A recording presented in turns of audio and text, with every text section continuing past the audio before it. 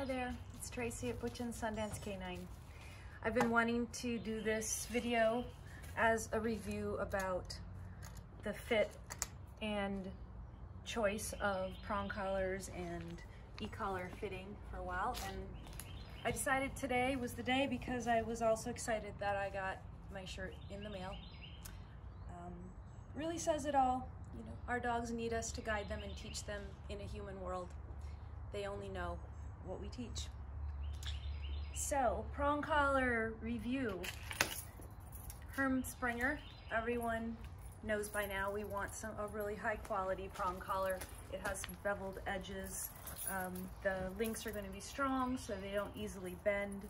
Um, a lot of the versions you'll see do not have this extra buckle. I've found a place to get this so that instead of undoing prongs every time you want to put take this on or off your dog, which isn't that big of a deal. But this buckle lets you do a really quick snap and it's very secure.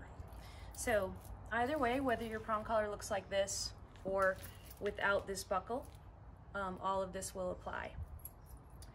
So as you know, the prong collar has a stop. This O-ring is your, your stop mechanism so that you can set the collar to the degree that you want the kind of tightness or squeezing action of the collar.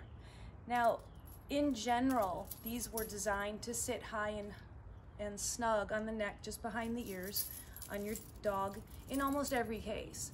However, when I'm introducing these to dogs, especially older dogs who've been maybe wearing harnesses for quite a while and are just no longer so familiar with sensation around the neck, I like to start with the collar very loose until I see how they're going to respond and if they're going to be very sensitive to the pressure or not very sensitive.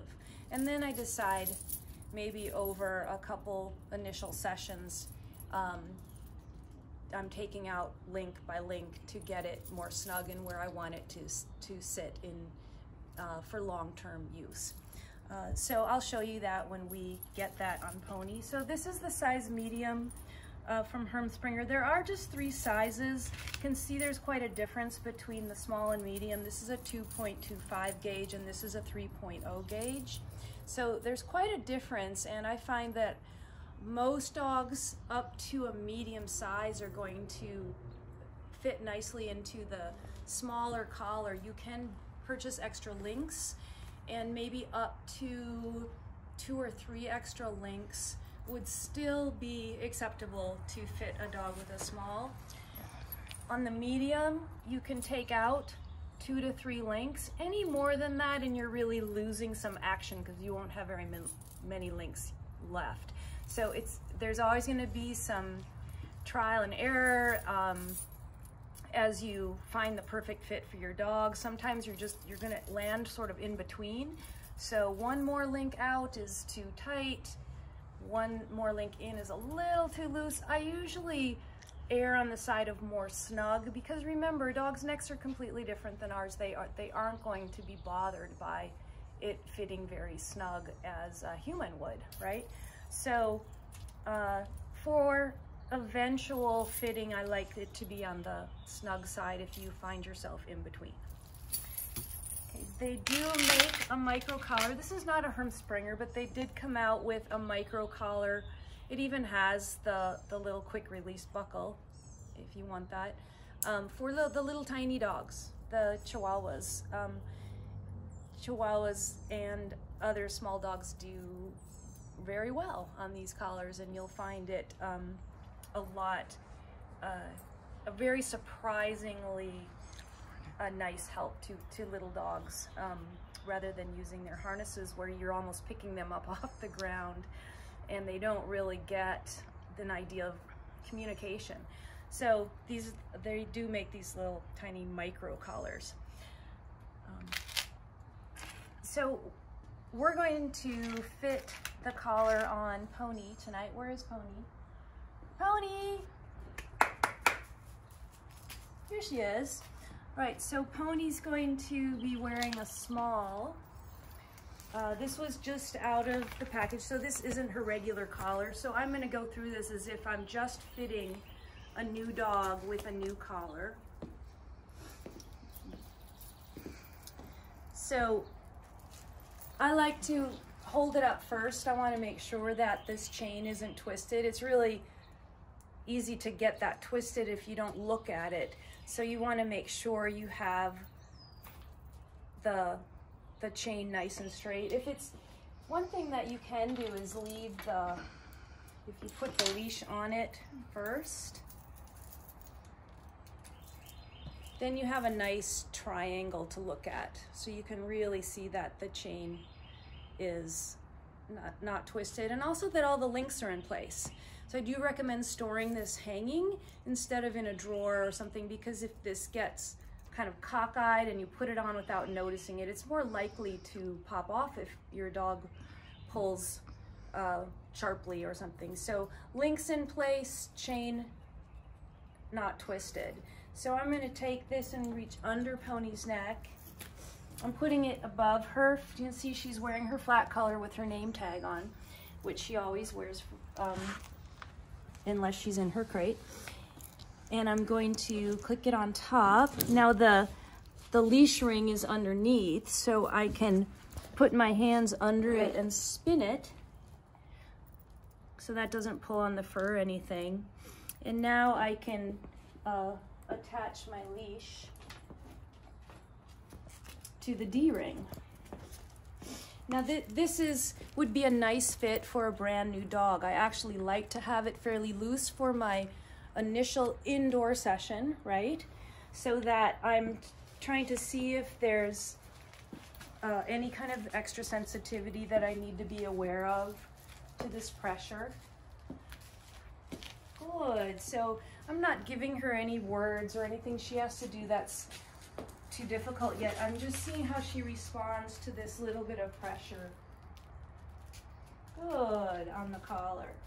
So for her, this, because she's, a, she's now been wearing a prong for a while, or say I was now in my fourth session or fourth walk, um, if I was just working on my own with my dog and she's responding really nicely to this.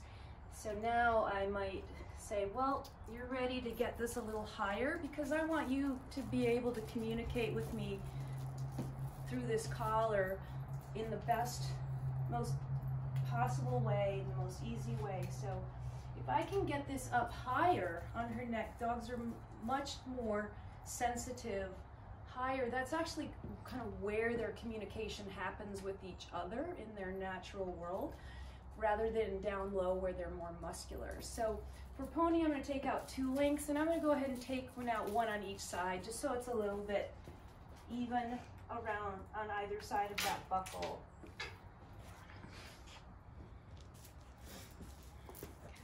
Pony. Come here. Good girl. Good girl. So again, holding it up, nothing's twisted, reach underneath. Click. I'm gonna put my hands under. I'm gonna spin more slowly now because it's more snug now and I don't want it to catch her fur. So there we go. And now I can see where even if I let this loose, how that collar doesn't slide down. So I know it's kind of our human nature to think like, oh man, that just feels so tight. I really wouldn't, that would feel horrible on me. I, I don't want to have it that tight. But understand that they don't have that same sensation that we do. They have more flesh there, they have fur there. They're, they're actually um, just fine with it snug.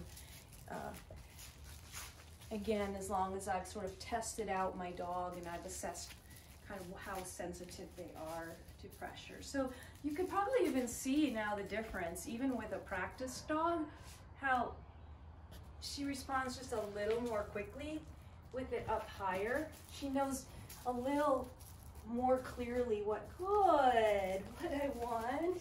Add some praise and you can see that she has no objection to this pressure. It's um, just a line of communication for her.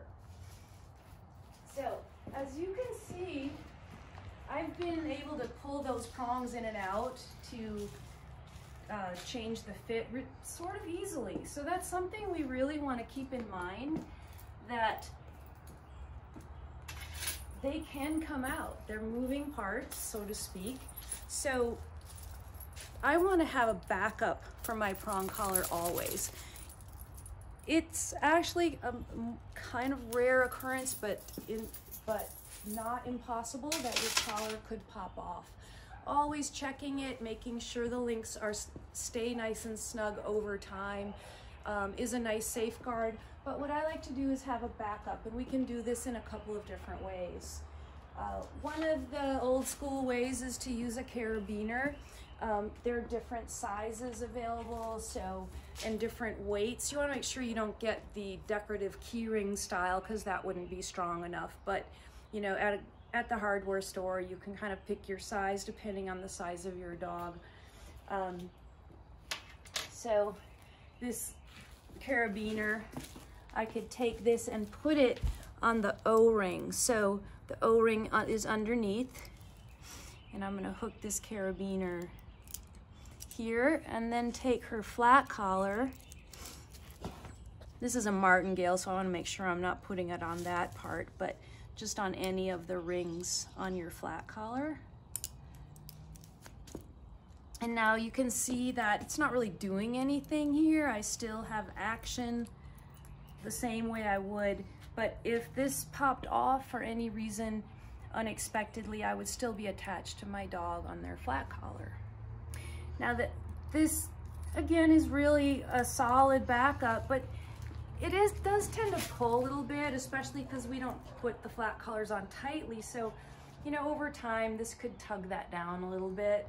So there's another option that I like, especially for the smaller dogs that you don't want kind of a, this heavy carabiner on. And it's called a coupler. It's not the kind of coupler that you would use to walk two dogs at a time. It's actually made to attach two collars to each other. So uh, I can put, um, let you know where I get these, but the, it's got a short end and a long end.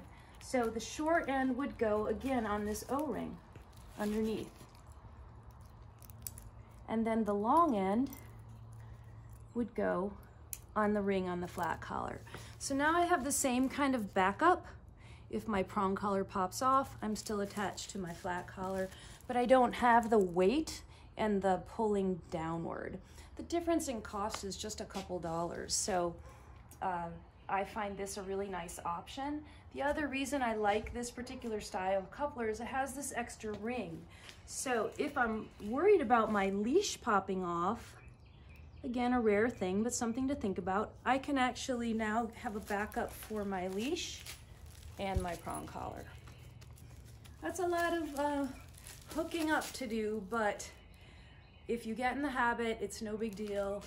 And the last thing you want to happen is your prong collar popping off when you're at a street, your dog sees a squirrel or whatever else might be um, really a sad safety situation. Um, I'm gonna show you one more option for those people that don't really like all this finagling around with all of these, these clips and doodads. So I'm gonna take all this off, right? So now I've got my prong and I've got my flat collar. So plain old slip collar, right?